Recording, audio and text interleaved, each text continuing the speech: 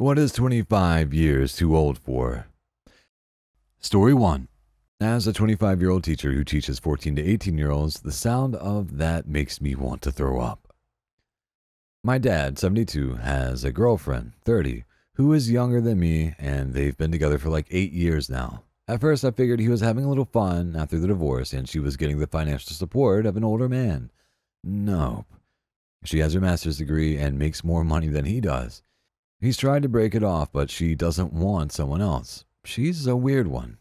Story 2 Worrying what other people think. It was such a great day when I realized I didn't have to keep seeking ambiguous approval from random people. Sure, there's people whose opinions I value, but as for the general public, I don't have to try and appease some norms, and I can relax and be myself.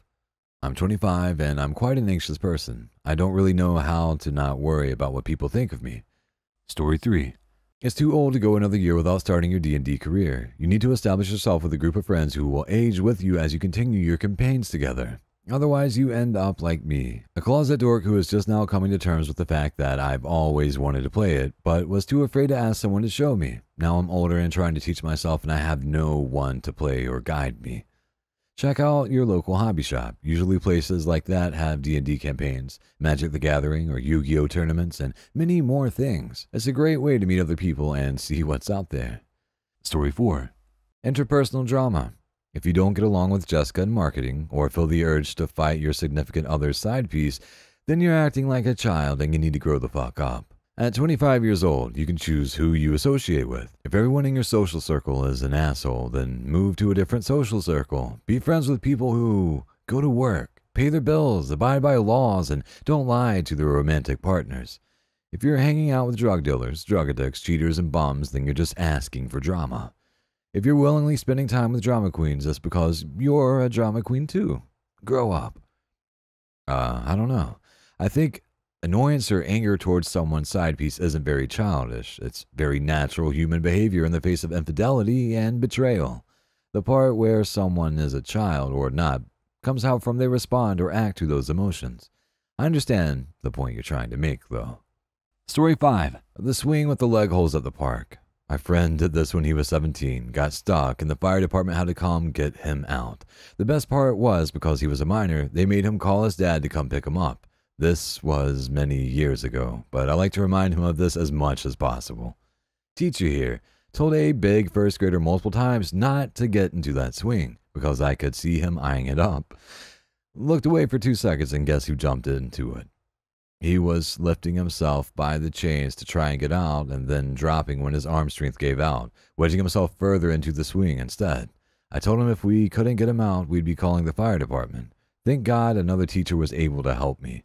He never went near those swings again. Story 6. For starting a career as a competitive gymnast. I'm 54, but as soon as zero gravity gymnastics becomes competitive, I'm going for gold. Story 7. Learning that actions have consequences. You can't just undo things or backpedal your way through life. Regretting them won't help either. Instead of dwelling over the past, one should use that past as fuel for the future. What you once did wrong shouldn't be repeated and instead do the right thing instead. Story 8. Not being able to do basic chores yourself and relying on parents and partners to do them for you. I think I read too many Am I the Assholes. I'm 30 and sadly was so pampered and taken care of until like 23, even after moving out from my dad's at 18, that I'm still learning new basic things. In fact, just earlier today, my sister was over and showed me the proper way to sweep. I always use it as a cautionary tale for others to make sure that they learn and teach their kids. It's a nice sentiment to want to take care of them, but there has to be a line. Story 9 A banana. Most bananas I get barely last a week. I think that after 25 years, it's time to throw it out. Have you tried freezing it? Mom definitely has a 25 year old banana in her freezer. She's planning to make banana bread any day now. Story 10 Sleeping in the car and waking up in your bed. It took me a minute to process that this doesn't mean you passed out drunk in your car while driving and then woke up at home afterwards. Story 11. Not going to therapy. Bro, I promise it will help. Man to man, you need to address what's going on in your brain. That shit with your parents, your ex, the anger you have inside that comes out when you're drunk. Dog, you aren't broken. You just need someone to help you untangle that shit. Do you really want to be this stressed and alone in your 30s, dude? You don't even have to tell anyone you're going, dog. Just go. Story 12 Not knowing how to do basic life maintenance and house upkeep. No excuse not knowing how to do your laundry and have at least a few basic meal recipes that you can make for yourself. I understand even financially, some people still need to live with their parents at 25, but not knowing how to keep yourself maintained and contribute to your family on basic cleaning and cooking tasks is not acceptable. Story 13 My coworker, I'm 20 and he's 26, brought up Snapchat and some girl he knew. He remarked on her Snap score, number of how many pictures and texts you've sent over time, and how high it was. How she must be a hoe, a homie hopper, attention whore, etc. While I'm staring at him like, seriously? You're 26 and you're worried about some random girl on Snapchat who you don't even associate with. I pretty much said that, and he was all, It is really crazy, like no one gives a fuck about that stuff, so why would you send so many pictures? Obviously, you give a fuck. Weirdo behavior. Story 14 Not cleaning up after yourself. We had a 25 year old house guest last summer. One night he walks into the living room and goes, Sorry guys, I clogged the toilet upstairs. We thought it was weird that he brought it to our attention, so we laughed it off and assumed he took care of it. Nope. We walk upstairs an hour later to find the toilet filled to the brim with shit water. When I confronted him about it, he goes, Oh, well, where I grew up, somebody else would always take care of that for you. I later found out the kid grew up extremely wealthy and would just tell the maids and housekeepers to clean up the shit clogged toilets. Story 15 Screaming, I'm done, when on the toilet. Come wipe my butt.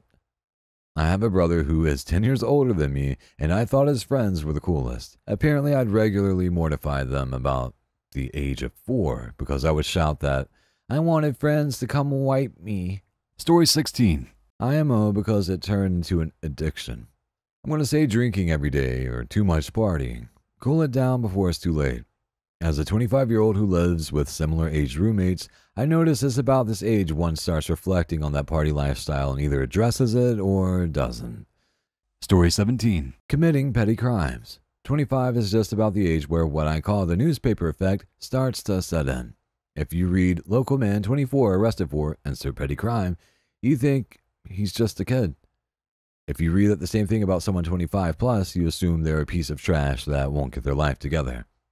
Yeah, at that point, I'm wondering where their ambition is. Like, grow up and rob a fucking bank or something. None of this piddly shit. Story 18 Shitting in your pants at work. Good. Think I'm still 24. Depends on the context. Shitting your pants at work on accident is something you should have grown out of by the time you're 25. However, standing in the middle of the office, grabbing everyone's attention, and then purposely shitting yourself with full commitment is something that demands nothing but respect and should definitely be done after the age of 25. Story 19 Too young to die, and too old to eat off the kids' menu. What a stupid age. Story 20 Dating minors, not to be confused with miners. They are some pretty hard working people. Margaret Thatcher had a policy to screw miners, so did Jimmy Savile. Story 21 Making mistakes and blaming everyone else, thus never learning and living in a cycle of bad choices due to lack of self awareness. I feel like that's a lot less of an age thing and more of a maturity and willing to learn and get better thing. Got elders doing that as often as kids and every year in between.